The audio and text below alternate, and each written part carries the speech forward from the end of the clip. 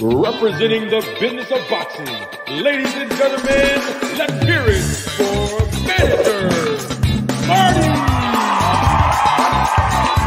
Thank you, thank you, thank you. You're far too kind. Thank you, thank you, thank you very much.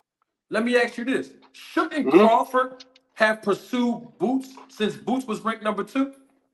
No, I, I thought I thought the challenger pursues the champion. Mmm. I mean, I could be wrong. No, no, no. Hold on.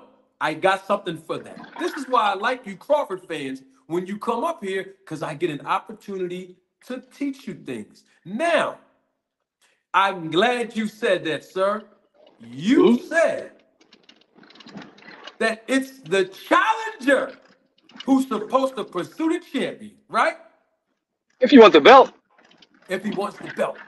Now, we all know that David Ebenezer in November of 2022, he was already scheduled to fight on a card in another Mhm. country. You agree with that, don't you? right? Yep. Uh, and at that time, Bud Crawford was the WBO welterweight champion of the world. You would agree with that too, correct? Yeah, I agree. I, I get what you're saying, but he, he could have no, chose. no. I Uh, just, I just, he, he chose. He could have chose Ebenezer instead. He could have yeah, hold on. Boots. Just a yes or no. Yes, yes, yes. All right. So now my question becomes to you: If that statement is true, that the challenger is supposed to pursue the champion, why did the champion Terence Crawford pursue the challenger and David Ebenezer? Um, those are the names that those are the names that BLK brought to the table. Huh? Was Boots not? So I'm gonna I'm gonna answer that with a question. Was Boots willing to go to BLK Prime to replace Ebenezer?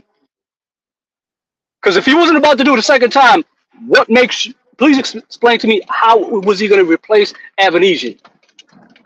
All right. So you're asking me. All right, hold up. So I asked you a question, and your answer is to ask me a question. Okay. The question again. that that would be your answer right there. Well, no, you didn't answer. I asked you. You said that the cha- the challenge was to pursue the champion. So my question is, why did the champion Terence Crawford pursue the challenger and David Ebenezer? He didn't pursue him. They brought they brought him to him.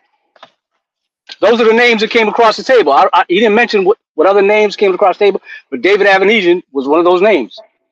Now I wish I had other names for you, but he didn't, he didn't divulge that.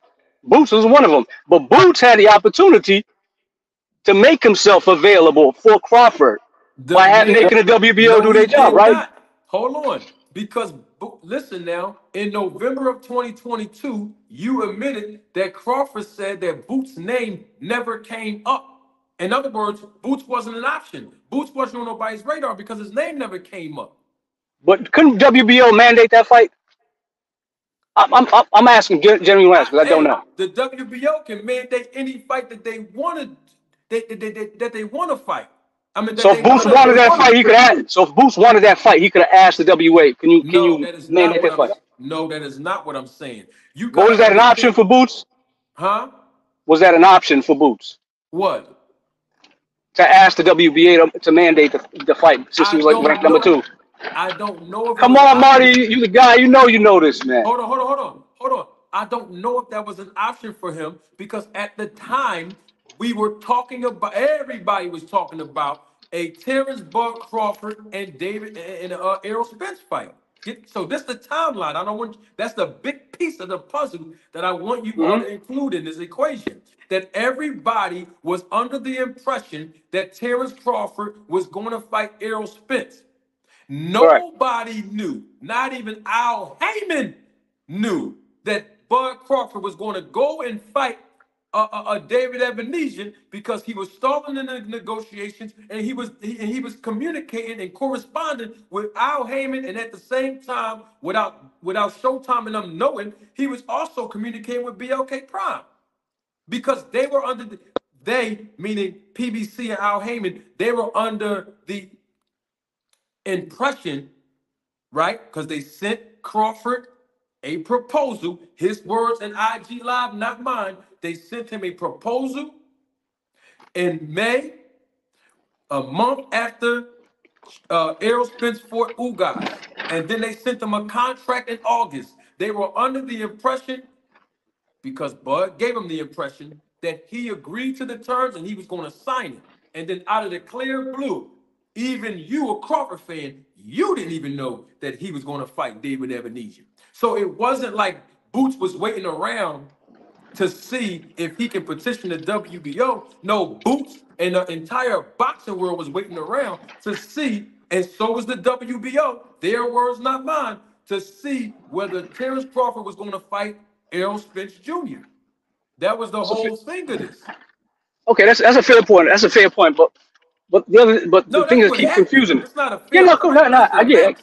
You're right. You're right. You're right. So, but my thing is, we keep uh, harping on us. Oh, uh, Bud could have chose Boots. He could have chose Boots instead of He Ebenezer. chose David. He, he chose David Ebenezer, who was ranked number Correct. six. I get that. But if he chose Boots, was Boots willing to go to BLK? How can Boots go to be? I'm glad you brought that up. Let's mean. No, no, no. Now you putting your man. You Darth, you all man over the place, bro. Hey man, listen. You bringing your man blue. You making your man blue blood look bad by asking me that. So I'm going to educate no, you. I don't care about who I'm looking making look bad. I don't have I no allegiance to know. those content glad. creators. Yeah, I know. You know, I don't care either. Let's get into it. You asked, could Boots have gone over to BLK Prime? Why would Boots go Right. over to BLK Prime when him and his dad and his uh, representation were in an agreement with a whole entire different network that was already established, who already had over uh, what is it, 35 years in this business for a company that just started like yesterday? Where Right. they do that at, bro? So you just answered my question. So the, so so the whole thing about Bud should have chose Boots to go fight it on on an app that Boots was not even willing to go. It was it's a foregone conclusion. So why are we it's bringing that up? No, No, no, no, no, stop. no, Listen, no, listen. You're It's talking to me, that. Santi. Chill. no. No, no, I'm listen. talking to you, Hear me. boy. Here, hold on, hold on, Donnell. Yo, got take your on. take your goofy ass somewhere, please, man. Chill, chill, Seriously. Uh huh. chill, chill, You chill, chill. jammed Hold on, up, hold on. brother. Hold on, hold on, Asante. I got him. Hold on. Hold on, I got this. Oh, I got it. Man, come over here with this nonsense. So, You don't know Boots. boxing. All right, so hold on, listen, listen. So Boots, so Boots' name never came up according to Crawford. That's what Crawford said in November of 2022. Crawford said that a month before he fought David Ebenezer. So it's not like Boots was in the wings waiting to go to the network. That's what I'm saying. So his name never came up according to Crawford. So, with that being said, if his name never came up, then that means that nobody expected Boots to fight Crawford. Period. Everybody expected Crawford to fight Errol Spence Jr. So, with that being said, it's not like Boots had a choice. See, the way that Crawford fans is kicking it is that Boots had a choice to choose whether or not he wanted to go to BLK Prime.